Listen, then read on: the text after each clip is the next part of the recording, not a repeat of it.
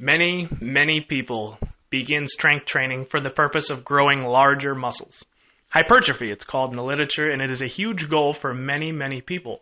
And so this lesson is going to be about why ARX is a better tool for that purpose than metal weights.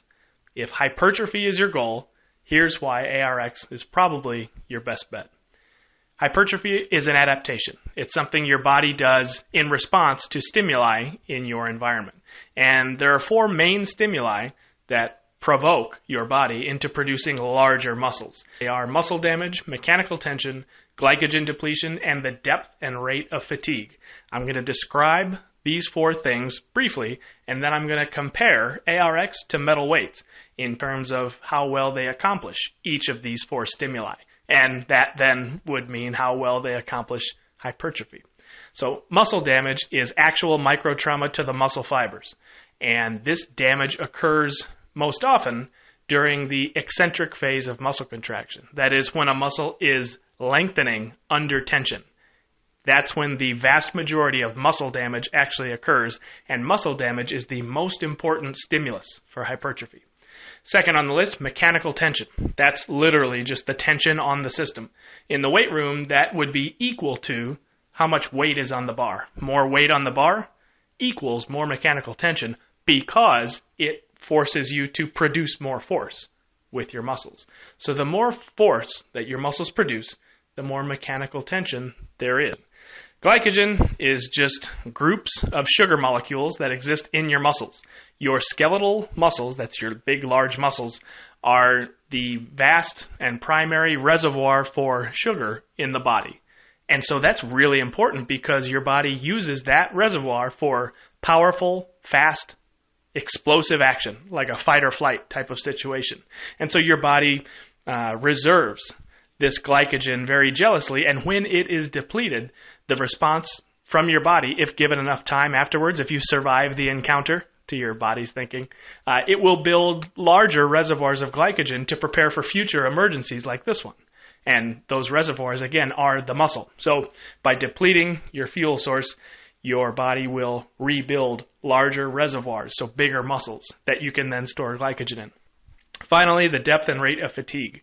Uh, when the only times, evolutionarily speaking, that you are fatigued deeply and rapidly is when you're fighting a rival or escaping from a predator or something like that. Something very serious is happening. And so when we strength train and we fatigue ourselves deeply and rapidly, that is a powerful systemic stimulus. And the response to that stimulus is larger and better performing muscles. It's a signal that says your reserves are inadequate build bigger, better, stronger muscles for future emergency. So, muscle damage, mechanical tension, glycogen depletion, and deep levels of fatigue that are reached quickly. So, let's compare metal weights and ARX. Well, muscle damage, we know that metal weights fail to properly load the eccentric phase. And the eccentric phase is the important one for muscle damage. Because if it properly loaded the eccentric and you were really challenged maximally, say lowering a barbell down in a squat, you could never lift that same amount of weight, and your set would be done pretty quick, and it wouldn't be pretty. So you compromise, you lower the weight just so you can lift that weight back to the start position. And so you're underloaded then when you go back down. With ARX, of course, ARX loads the eccentric phase perfectly every time and always. You are 100% of the time matched in your maximum capacity in the eccentric phase. So when you lengthen under tension with ARX, you're leaving no meat on the bone. You are perfectly loaded. With metal weights, you're underloaded pretty drastically. Mechanical tension. Once again, metal weights underload the target muscles. Even if it properly loaded the target muscles on the way up, that's called a one rep max, and your set is done pretty quick. Well, with ARX, you can provide unlimited mechanical tension all of the time. So, at any time in your set, in eccentric phase and concentric phase. At the beginning to the end, there is no time when you are not allowed to produce the maximum mechanical tension of which you're capable. So, mechanical tension, that's topped out, that's max.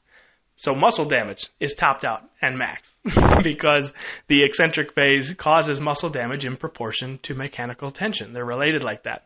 So, all of a sudden, ARX is up two to nothing. Let's go to glycogen depletion. Metal weights, well, it's inefficient depletion. it requires excessive volume. It means you do deplete glycogen, but because of the first two, you deplete that glycogen far more slowly. Now, glycogen is primarily depleted in the concentric when muscles are shortening under tension, contracting under tension. Well, with ARX, every contraction, every concentric phase is a maximum effort all the time, every time. And so the maximum possible rate of glycogen depletion is accomplished with ARX. So that's 3 nothing ARX Let's talk about depth and rate of fatigue. Well, you could fatigue yourself pretty well with metal weights, but it gets increasingly dangerous as you do. We've all experienced the phenomenon of taking a weight that felt great on repetition one or two or three, and if we fatigue ourselves and go to rep 9, rep 10, rep 11, all of a sudden our knees are shaking, our hips are unstable, our spine is tired, and mistakes can happen.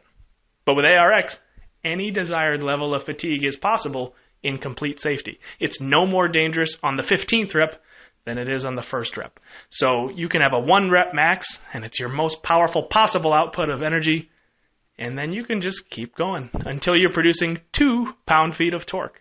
It doesn't matter how deeply you fatigue. I mean, we need to bring a bucket over and everything, uh, but you would be in no more danger than that very first or the middle reps.